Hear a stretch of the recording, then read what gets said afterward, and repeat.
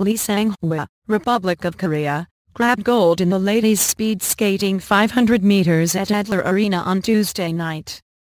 Olga Fatkulina, Russia, took the silver and Margot Boer, Netherlands, the bronze.